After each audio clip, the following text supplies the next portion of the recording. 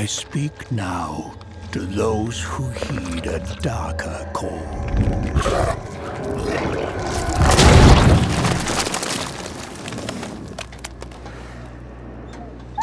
Those bold enough to cross the line of sin for deeper knowledge.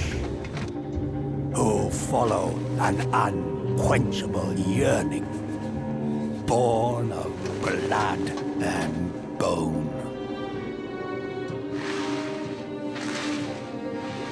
Unlock the forbidden secrets and foulest black rituals calling forth life from death.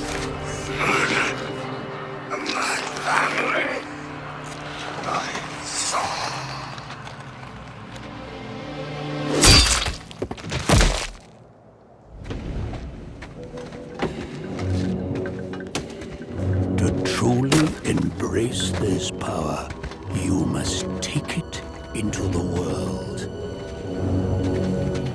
And you will be shunned, scorned, marked as a living sacrifice to this profane knowledge.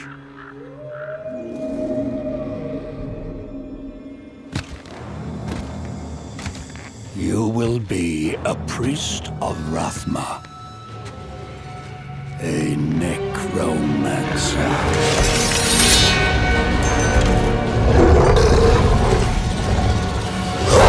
And you will not confront the darkness alone.